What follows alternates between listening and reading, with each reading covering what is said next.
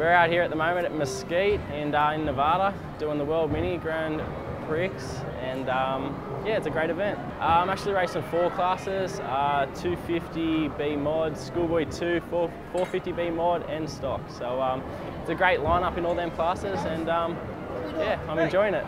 We're uh, helping him make a sponsor video. He's in from Australia. We're at uh, at the World Minis this week in uh, in Mesquite. So. I'm sorry. Did he win? Some love. Do we need to do it in a different spot? It's hard work. Okay. Can we do it in, in here? Aw, you can do it anywhere. Just don't even listen to this guy. He doesn't even have no power. Oh, yeah? I'm just kidding. These guys, if you knew what they did, hey, you'd be letting them have their way. I realize that. Gotta you love So, them. hey, hey, I'm so proud of you. over there, away from Shit. Well, um, you know, we're just doing a quick interview. I didn't think we were hurting anything.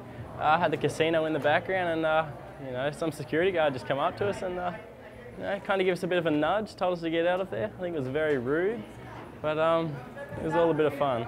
The racing in B class, uh, intermediate over here, is uh, it's a lot more challenging. Uh, the intensity level is so much higher, whether you're in 10th place or first place. So it doesn't really matter. The, uh, the inten- the intensity of racing is always, is always so much higher. We're back in Australia.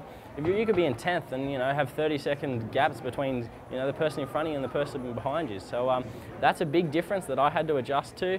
It's um, it, it was hard to adjust when I first come over, but I've got used to it and um, um, I'm actually starting to really uh, battle it with the guys and um, you know put it to them.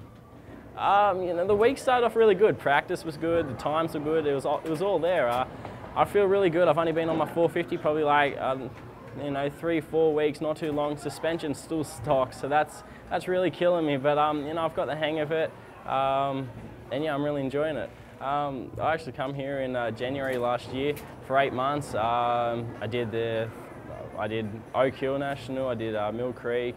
Um, I did didn't do uh, World Minis last year, but I qualified for Loretta's. I raced Loretta's, and then um, in August last year, after Loretta's was over, I went back home and um, you know pretty much raced in Australia. I did our Supercross season and our my last year in juniors, which is amateur, and um, I did that. Uh, and then pretty much in January this year, I come back over, so my second year, and um, I'm here until late August again. Um, you know, racing all the nationals over here. This is my third national this year. Uh, I've already done my area qualifiers for Loretta, so that's all good. Uh, regionals are coming up in June, and then um, you know ready to race Loretta's in uh, in August.